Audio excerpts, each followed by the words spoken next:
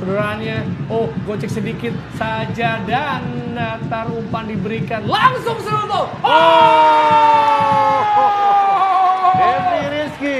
Yo yo yo, biasa. Rizky mencetak gol dari tendangan pertama di menit pertama bagi Persiraja. Kuta Raja Banda Aceh inilah gol pertama perdana. Uh, gerakan ulangnya, Jerry, Ya. umpan yang sangat baik, kemudian ditaruh di sisi kiri atau sebelah kanan dari kita ya, sisi kiri dari gawang. Ini dia Junaidi Batiar, nyaris saja di tepis tapi bola bergulir lebih cepat, Jerry. Ya kita lihat tendangan agak flashing ke pojok Ya, ya Bung ya. Bisa dibilang tendangan laju, tendangan tidak sederas biasanya. Ya.